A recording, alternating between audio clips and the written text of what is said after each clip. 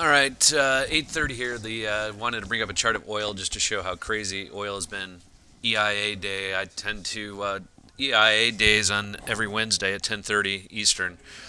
Kind of like uh, Fed funds futures days. I don't trade oil on these days, and one of the key reasons you can see on this chart is we were selling off into that number all evening from 114.60 down to 113.20 when the number came out they spiked it all the way to uh, 114.95 and now in the last uh, 15 minutes they've taken it down to 112.55 uh, purely technical once it broke under this uh, level here at 114.20 it just broke down and if you're fast fingered you can definitely get on board this these types of trades but it's not for the uh, meek uh, for sure. We're going to that S1 line at uh, 112.40. You can see it's ticking as we uh, do this video, and it's probably going to go lower later in the day.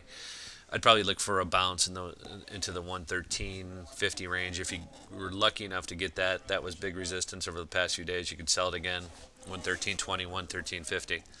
I'd be a seller, but I wouldn't be trying to pile on now that it's already uh, fallen over $2. Uh, the SPOOs are 1355.50 just hanging up at the top of the day. Volumes uh, going going to bed here into the uh, midday, and uh, we're looking like a trend day so far. Uh, come back at uh, 11 a.m. Pacific, and if we're still up here, you could probably buy it for the close. Buy any pullbacks if your if your uh, five-minute chart is still showing bullish. So.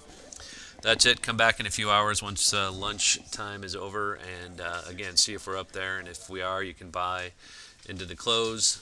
And uh, again, I'd be I'm, I'm, a longer term seller up to the 1370 area, but uh, I'm not looking to get short at this point at this uh, early part of the day, unless the charts change. So just standing to the side and uh, again looking for a dip to buy, uh, but uh, I'd probably buy a dip somewhere in the 1351, 1353 area if we're able to get down. It's trading 1355, and we'll be back later today.